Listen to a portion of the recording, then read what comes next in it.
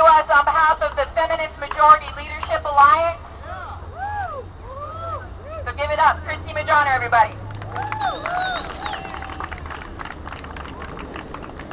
Am I doing this right? All right, all right, cool.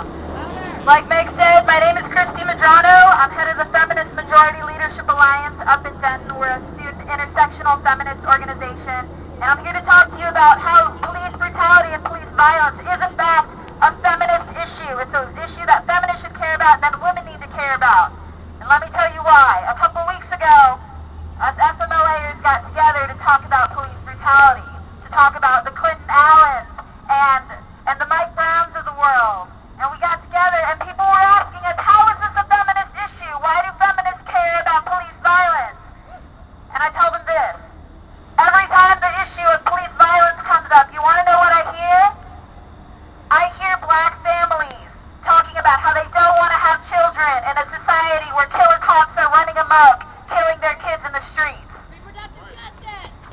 That's what we call reproductive justice. This is what's called a reproductive justice issue, which doesn't just involve access to reproductive health care like feminists are known for fighting for in Texas.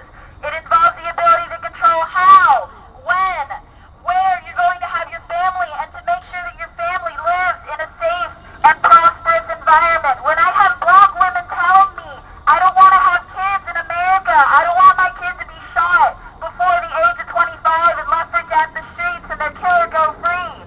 That is a reproductive justice issue. That is an issue that all feminists need to care about. I don't want to hear black parents and parents of color talking about to their kids, don't go out with that hoodie on. Don't stay out late. Where are you going? I don't want to hear that anymore. And while we're talking about the issue of police and police violence, we also need to talk about the epidemic of sexual assault and rape that these policemen are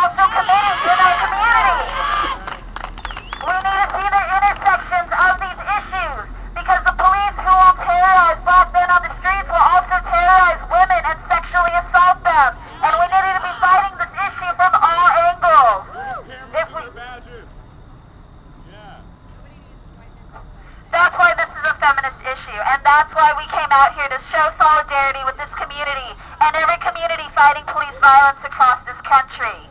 Thank you.